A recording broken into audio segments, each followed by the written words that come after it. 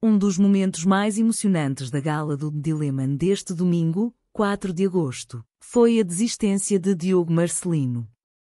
O concorrente decidiu abandonar a casa depois de ouvir o conselho dos pais, uma vez que tinha sido acusado de manipular Mafalda e David por Susana Dias Ramos, uma das comentadoras do formato.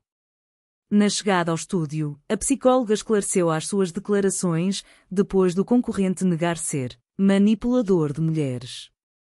O que eu disse é que achava que o teu jogo esta semana tinha sido manipulador e asqueroso. Manipulador porque usaste as coisas a teu redor para teu proveito, notou Susana, destacando o jogo duplo que Diogo fez com David e a filha, Mafalda. Por seu turno, Ricardo Martins Pereira fez saber: se tu fosses embora ao fim de duas semanas os 50 mil euros eram teus.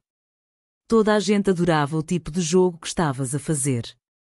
Eras a pessoa mais divertida da casa, conseguias estabelecer um equilíbrio muito bom.